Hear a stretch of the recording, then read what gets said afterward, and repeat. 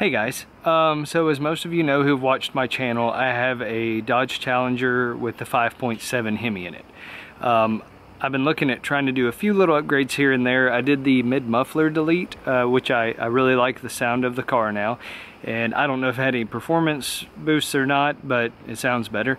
Um, but one of the things I was looking at doing it was is about time to replace the air filter anyway. And I was trying to figure out what the best air filter to use was. So of course you know the first thing I do is start looking at K&N and then I hear that K&N has trouble because it's an oiled filter. The oil can mess up your mass airflow sensor on some cars um, these seem to be a little immune from that problem because the mass airflow sensor is not right up on the intake.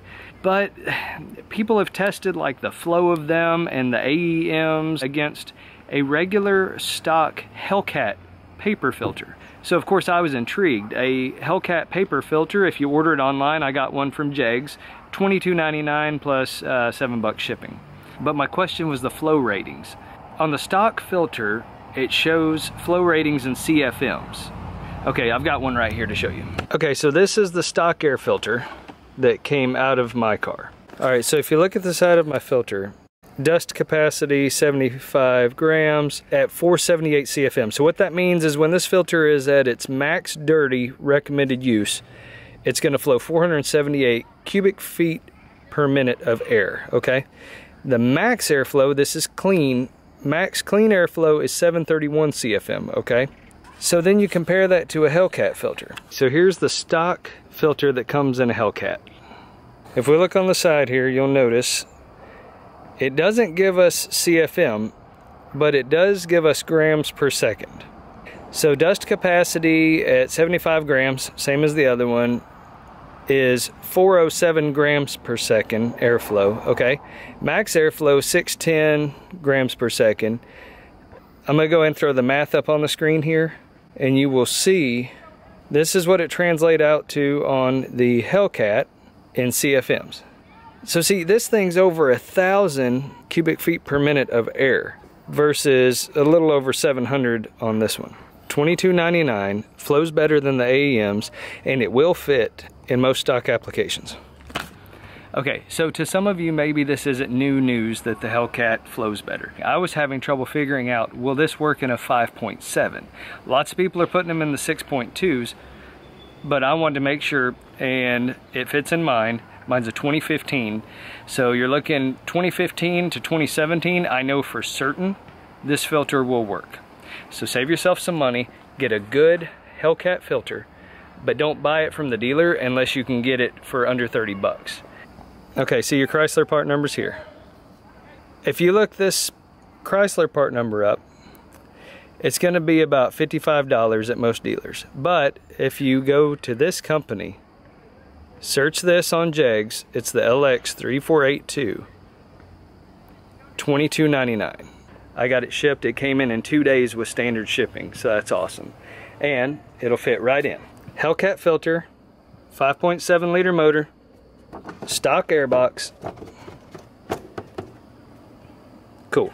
So one thing I've noticed people like to post after putting in a different air filter is what their intake temperatures are with that new filter at different speeds and different outside ambient temperatures.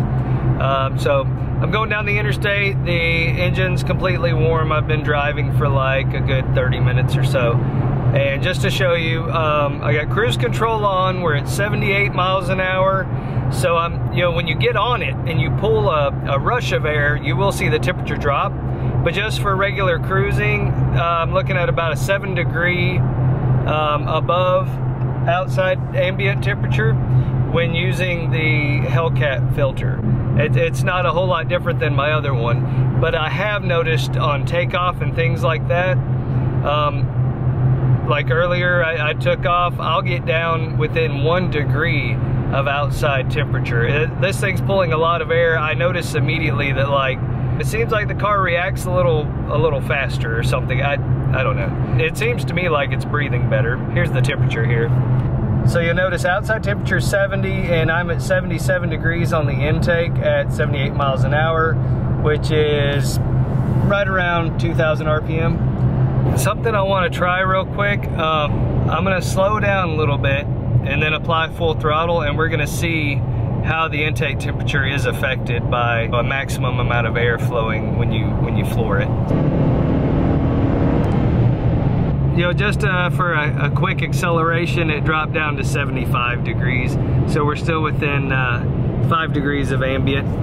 That's not bad. It did work in my 5.7 Hemi. It fit fine. Um, I have experienced no problems whatsoever, and I seem to have a little bit of a performance increase. I mean, I really do. And my air temps are staying a little bit cooler. So, all right. Well, I think this concludes the uh, little Hellcat air filter tutorial. So, thanks for watching. Subscribe to my channel. I'll be putting more things on. Uh, the more people I get watching videos, the more motivated I get to keep producing videos. I appreciate it, guys. Tune in next time.